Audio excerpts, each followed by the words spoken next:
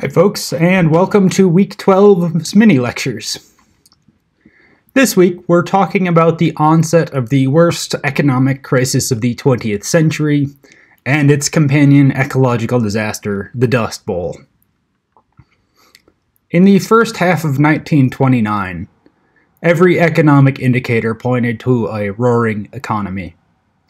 In the final years of the 1920s, steel production, building construction, retail turnover, automobiles registered, and even railway receipts advanced from record to record. The growth was astonishing. The combined net profits of 536 manufacturing and trading companies showed an increase in the first six months of 1929 alone of roughly 37% over 1928's totals, itself a record setting year. The United States enjoyed the highest standard of living in the world, and its industrial output over the decade had doubled. There was a massive speculative boom in both stocks and real estate, with economic exuberance overcoming any real caution. And as a cautionary note, Florida's real estate market was bumping, and that is usually always a bad sign for any economic bubble. The economist John Kenneth Galbraith describes what happens next. Imagine standing in a glass house, in a greenhouse. Glass ceilings and windows create a hothouse growing environment, one where plants can thrive beyond outside environmental constraints. You can grow tomatoes in January in a glass house in Montana if you do it right. Now, imagine standing in this 1920s greenhouse, looking at the fantastic growth, at the artificial growth, when a hailstorm comes ripping through and drops golf ball size hail, shattering the glass roof and devastating the artificial growth before. If you've ever seen the face of a gardener or farmer after the hailstorm destroys their plants and crops, that's what the entire American economy looked like.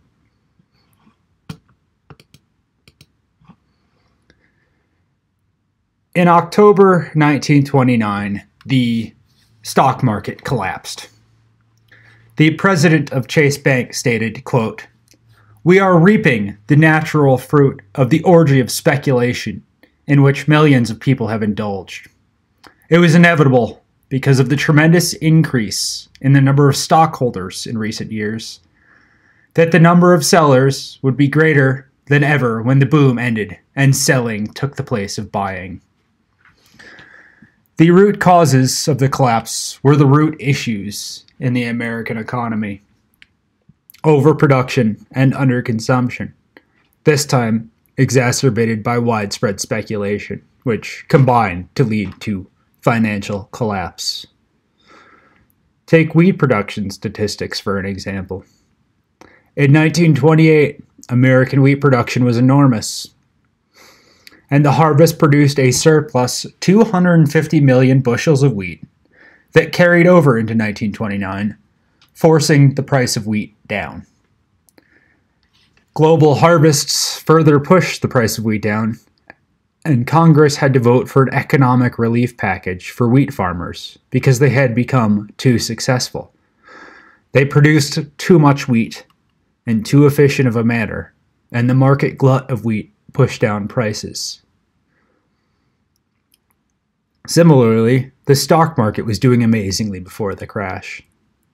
Returns were high, and nearly every stock showed signs of growth.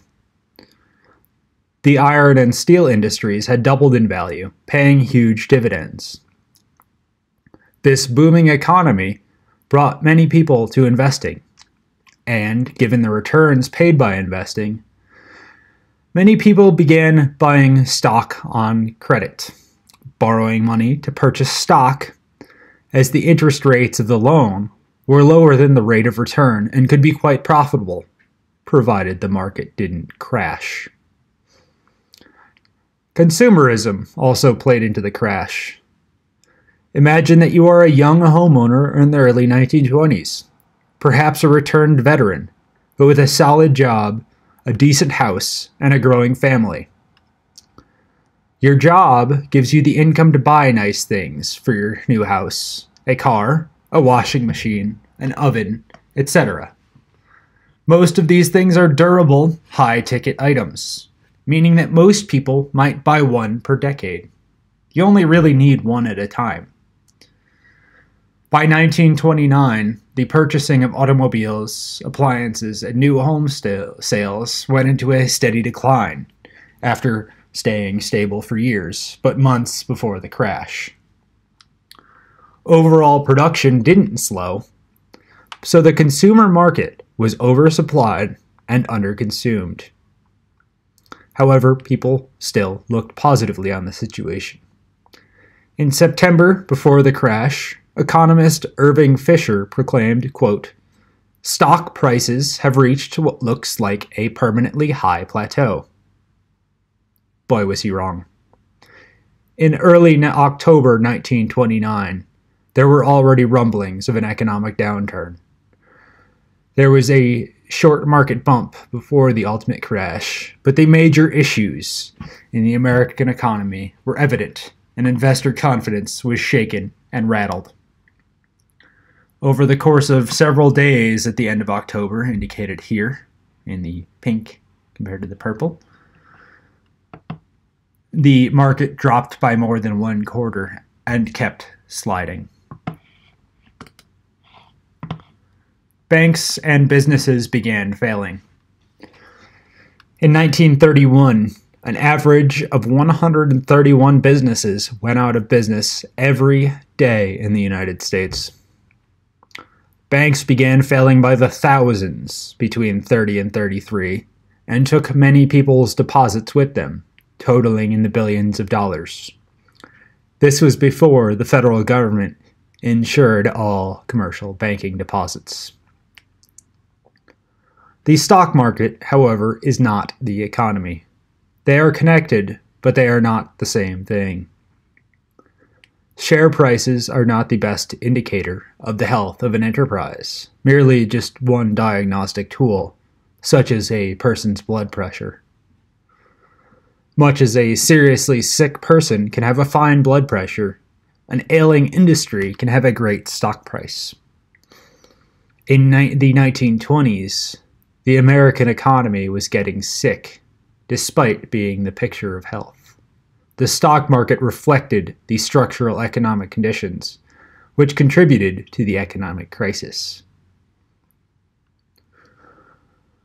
Remember our discussion of economic inequality from week 5. I'd encourage you to go back and review the mini lecture, but wealth inequality continued and worsened during the 1920s, concentrating at the top a few statistics. Between 1923 and 1929, corporate profits increased by 62%, while dividends on stock increased by 65%. At the same time, worker income only went up by 11%.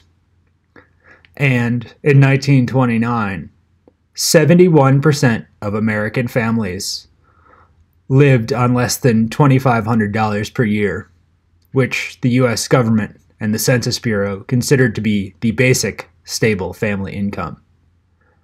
That's 71% of Americans living below income stability.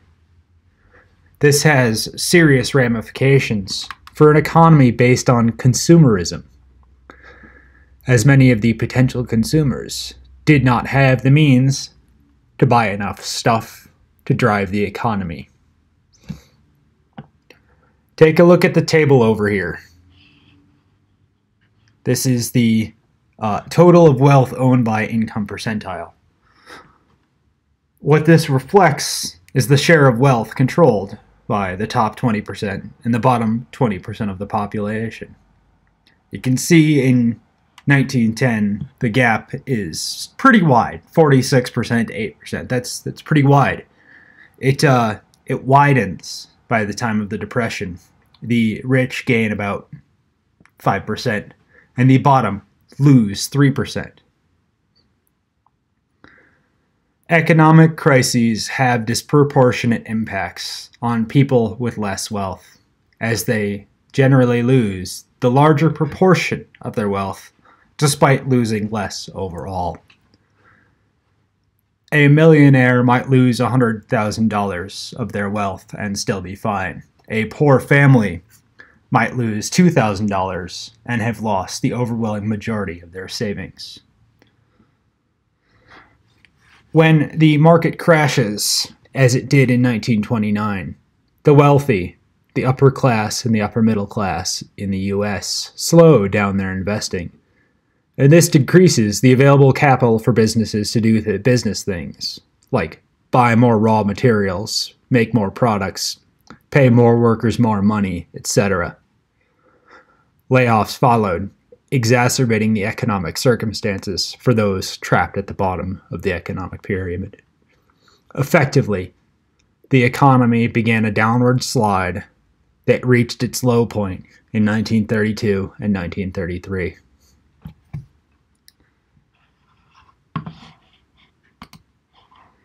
Several economic statistics show the dramatic decline of the American economy secondary to the crash of 1929. Gross national product, the entire quantity of everything produced, sold, consumed, blah, blah, blah, in the United States declined by a third by 1933. Automobile sales fell from 4.5 million in 1929 to 1.1 million units in 1933. U.S. Steel was only producing at 12% of its capacity in 1933. Blast furnaces had gone cold and stood empty. New construction dropped from 8.7 billion to 1.4 billion. That means that other industries such as, you know, the timber industry or the steel industry or home furnishings or however are also similarly affected. Farm income drops from $11.3 billion to $4.8 billion. It's two thirds drop. Wages paid drop from 12 billion to 7 billion, and unemployment rises from 3.2 to 16 percent in 1931 to 25 to 30 percent later on. This is a dire situation in the American economy. It is desperate, it is unlike anything that the nation had seen before. The Panic of 1873 and the Panic of 1893 were bad. This was horrible. All right, I think I'm going to close this mini lecture here, and we'll pick it up in a discussion of the Great Depression.